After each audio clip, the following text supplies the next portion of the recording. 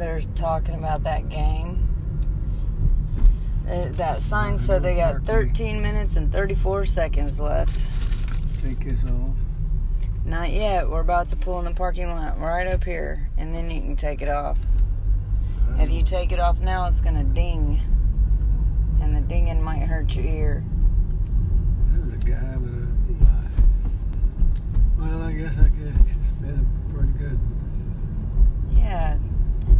Was a good day. Miss Deanna and Brian got back yet with the two kids. Uh, they will be back. They'll be back uh, sometime this week. They'll be here. They miss you a lot and, lo- and love you very much.